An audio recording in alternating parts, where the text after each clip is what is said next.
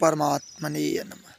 हे मेरे प्रिय बंधु, जैसा कि आप सभी लोगों ने टाइटल में पढ़ ही लिया होगा कि आज हम लोग चर्चा करने वाले हैं कि क्या ब्रह्मचर्य तन से अधिक मन पर आधारित है।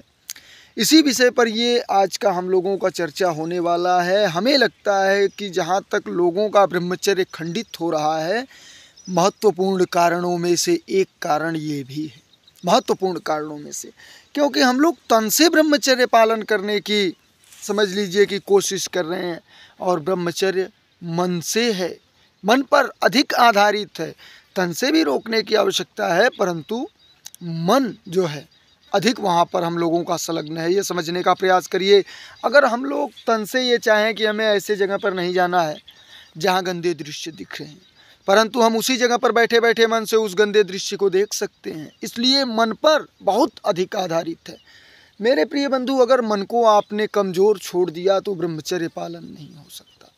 इसलिए मन को बलवान बनाने की आवश्यकता है हमें। हमारा मन बलवान होना चाहिए। मन हमारे काबू में होना चाहिए। बलवान का मतलब ये है कि मन तो बहुत बलवान है, परंतु इसीलिए कहा गया है कि इंद्रिय जो हैं बहुत बलवान हैं, बहुत बलवान हैं।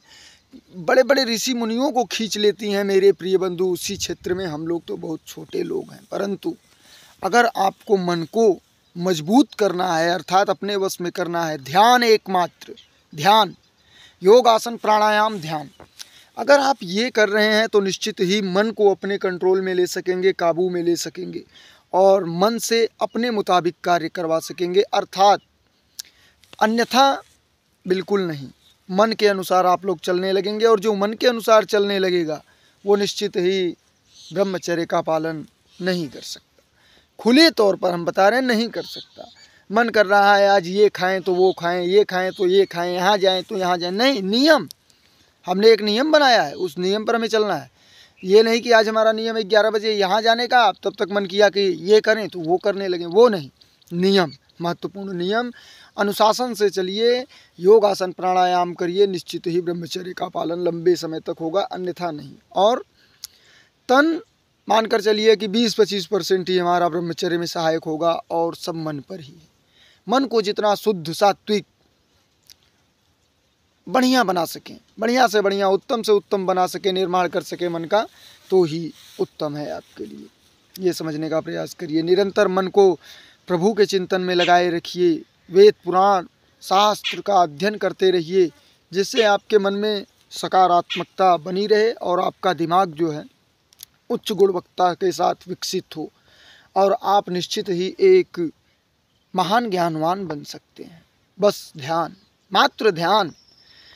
स्वामी विवेकानंद जी ने कहा था, क्या कहा था मेरे प्रिय बंधुओं, आपको पता है? स्वामी विवेकानंद जी ने कहा था, अगर हमें पता रहता कि ध्यान इतना महत्वपूर्ण है तो हम कभी भी किताब को हाथ न लगाते दस बारह तक उनको पता नहीं था ध्यान के विषय में, हमें तो लगता है। उसके बाद वो जो हुआ सिस्टम वो बोलने कि मैं कभी किताब को हाथ नहीं लगाता। इसका अर्थ आप जानते हैं, ऐसे ही हाथ से बस टच करते ही स्वामी विवेकानंद जी मोटे से मोटे किताब को अपने अंदर ट्रांसफ़र वो मेमोरी विकसित होगी। ब्रह्मचर्य, बारह साल ब्रह्मचर्य पालन किए थे। स्वामी विवेकानंद जी, उतना ही हम लोगों को करने की आवश्यकता है उतना ही नहीं मेरे प्रिय बंधु। उससे भी अधिक आपको करने की आवश्यकता है।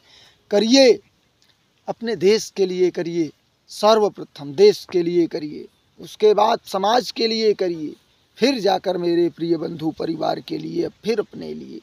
ये उल्टा हम लोगों ने कर दिया। देश हमारे लिए कुछ नहीं रह गया, इसलिए हमारा देश गिरता चला गया। संस्कृति तो हमारी बिल्कुल पतन हो गई, संस्कृति की क्यों हो गई? क्योंकि हम सिर्फ़ अपने तक सीमित हैं। हम कैसे खा सकें, हम कैसे पी सकें? अपने परिवार में भी मैं देखता हूँ कि कायदे से अच्छे से लोग नहीं दे पा रहे हैं। क्यों? क्योंकि सिर्फ़ अपने तक, राक्षसी पना, खस्सी बकरी मुर्गा मछली खा खा कर बिल्कुल दिमाग बिल्कुल सुन्न हो चुका है। बिल्कुल सुन्न हो चुका है। उन्हें जानकारी ज्ञान ही नहीं रह गया कि क्या कर रहे हैं, कैसे कर रहे हैं, कहाँ कर रहे हैं, कब कर रहे हैं। यदि आपको प्रखर बुद्धि का धनी होना है, बिल्कुल शुद्ध सात्विक भोजन के साथ, नियम के साथ चलिए योग आसन प्राणायाम करिए। निश्चित ही आप एक महान व्यक्तित्व के धनी बन सकते हैं, एक महान मेरे प्रिय बंधु ज्ञानी बन सकते हैं, और ब्रह्मचारी तो निश्चित ही बनेंगे ही बनेंगे, क्योंकि ब्रह्मचर्य में ये सब कुछ की आवश्यकता होगी, सब कुछ की आवश्यकता होगी। ब्रह्मचर्य अर्थात सभी जगह से जहाँ जहाँ आपकी आसक्ति है, अर्थात ये मेरा, वो मेरा, ये यहाँ, ये, सब कुछ हटा के आपको परमात्मा में लगा देना होगा। तब जाकर आपको ब्रह्मचर्य का वो लाभ मिलेगा, कहने की आवश्यकता नहीं है और कह भी नहीं पाएँगे। सबसे बड़ी बात है, कोई नहीं कह सकता। वो सब अनुभूति की बातें हैं। वो सब सिर्फ़ और सिर्फ़ महसूस की जा सकती हैं। कहीं भी नहीं जा सकती। ये समझने का प्रयास करिए, वो परमपिता परमात्मा का आनंद है मेरे प्रिय बंधुओं। इसलिए ब्रह्मचर्य का पालन करते हुए आप ये महत्वपूर्ण जानकारी आज जो प्राप्त कर रहे हैं कि हमें तन से अधिक मन पर काम करने की आवश्यकता है। मन को शुद्ध सात्विक बनाने की आवश्यकता है। निंदा, चुगली, बुराई, गाली, गलौज, इन सबसे जितना दूर हो सके मेरे प्रिय बंधुओं उतना दूरी बना लें। क्यों? क्योंकि ये निगेटिव शब्द आपको निगेटिव कार्य करने पर मजबूर कर देंगी और जब निगेटिव कार्य आपसे होंगे तो निगेटिव परिणाम आएँगे। और जब निगेटिव परिणाम आएँगे तो दुख ही दुख उत्पन्न होगा मेरे प्रिय बंधुओं। दुख ही दुख उत्पन्न होगा। उसी दुख को हमारे शास्त्रों में नरक के समान बताया गया है। वो नरक भोगी व्यक्ति वैसे ही हो जाएँगे। ये समझने का प्रयास करिए।